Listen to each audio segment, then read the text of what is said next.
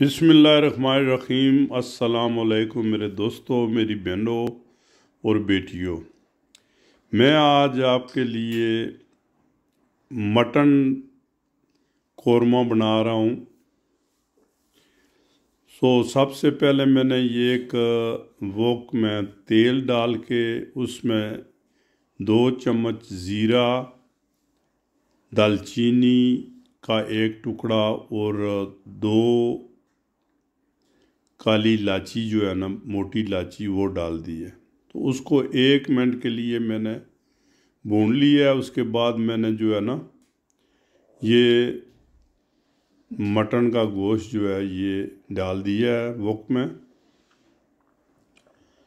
ये देखें, ये जो है ना, इसको आप आहिस्ता आहिस्ता जो है ना, इसको भूने। साथ दो खाने की चम्मच जो है, ये मैंने अदरक और लहसुन जो है ना, ये इसका जो पेस्ट, ये अब मैंने डाल दिया है इसमें। ठीक है जी। यहाँ आप सब्ज़ मिर्च, हरी मिर्च जो है, वो आप इस्तेमाल कर सकते हैं। ठीक है जी। सब्ज़ मिर्च जो है वो आप डाल दें। तो इसको भूनें आप।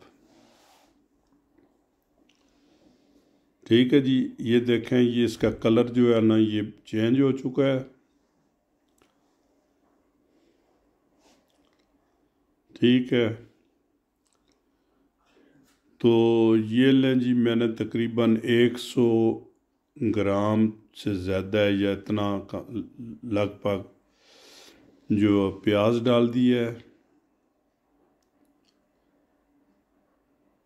प्याज डाल के इसको जो है ना आप भून लें थोड़ा सा। ठीक? ये प्याज जो है वो टमाटक ख़ुद ब खुद जो है ना ये मैश हो जाएगा।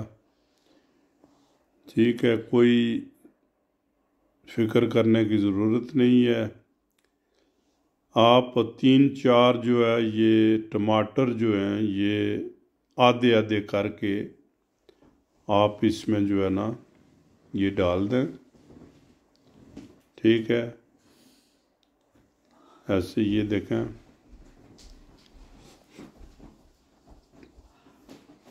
तो ऊपर से इसको कवर कर दें। तो तकरीबन चार पाँच मिनट के बाद जो है ना, ये इसका जो छिलका है, टमाटर का, ये आप, ऐसे इसको उतार लें। ठीक है जी? ये देखें, ये आराम से उतर जाएगा, क्योंकि ये छिलका जो है, ये तंग करता है ये गलता नहीं है इसको जो है ना उतार लें आप जो है।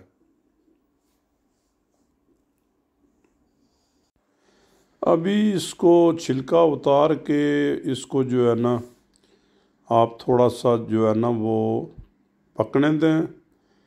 जब गोश्त थोड़ा सा गल जाए तो फिर आगे की कार्रवाई करते हैं जी।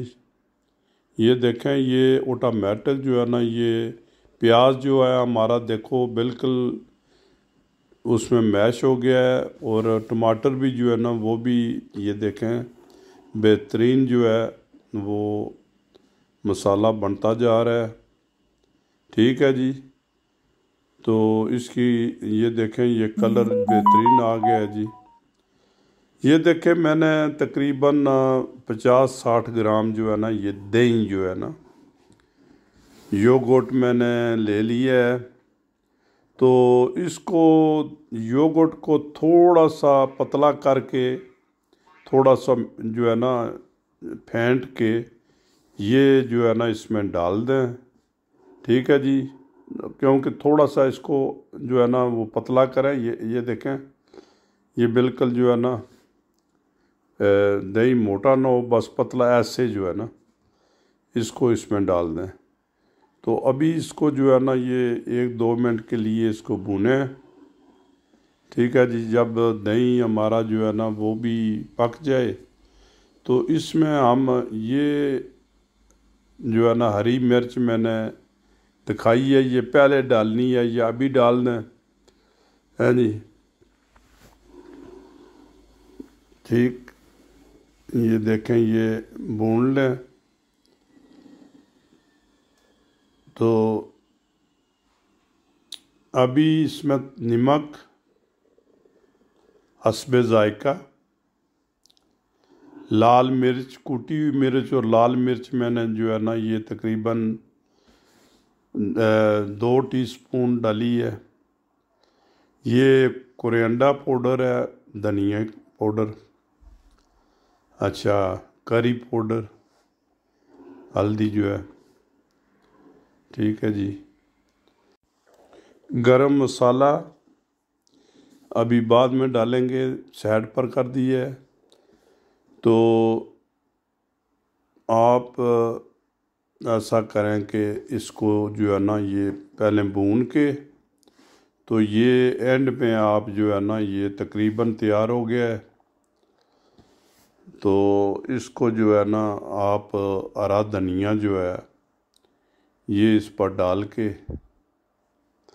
तो देखें, ये बिल्कुल जो है ना, ये आपने रेडी पोजीशन में है। क्योंकि ये लाइव तो हम दिखा नहीं सकते कि कितना टाइम जो है ना, क्योंकि जो है ना, इतनी लंबी फ़िल्म को देखता नहीं है। तो इसलिए जो है ना, ये देखें, बिल्कुल रेडी पोजीशन हो गई है। मसाला डाल के आप इसको भून के ये देखें, बिल्कुल ये अगर आप थोड़ा बहुत इसमें अगर सोज रखना चाहते हैं तो आपकी मर्ज़ी है, थोड़ा सा पानी डाल के इसको जो है ना दम पर लगा दें। हाँ जी। तो ये बिल्कुल तैयार है जी, माशाल्लाह। हाँ जी। तो ये देखें जी, इसकी कंडीशन ये है, मैं तो अकेला आदमी हूँ, इसलिए जो है ना, इतना सोस नहीं रखा है। तो आप जो है ना, अपनी मर्ज़ी से जो थोड़ा सा सोज रख लें। तो मेरे दोस्तों, अगर मेरी ये डिश आपको पसंद है, या मेरी ये रेसिपी जो है पसंद है तो मेरे चैनल को सब्सक्राइब भी कर दें और जो है कमेंट्स में लाजमी लिखा करें। अल्लाह ताला आपको अपनी मान में रखे। तो नेक्स्ट रेसिपी के लिए खुदा हाफिज़।